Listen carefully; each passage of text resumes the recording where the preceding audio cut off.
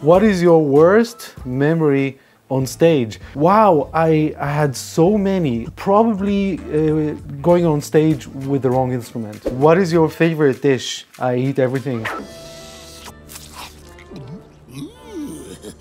Do you have a ritual before going on stage? Uh, sometimes I do some, some yoga breathing very quietly. I try to find a quiet place and breathe. Forget about the concert. You have a hobby or a hidden talent apart from music?